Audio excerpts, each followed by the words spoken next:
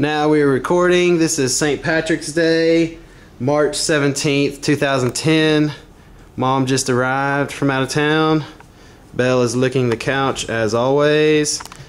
And we are about to rock and roll. Rock and roll. Mwah. Let's do it. Party on!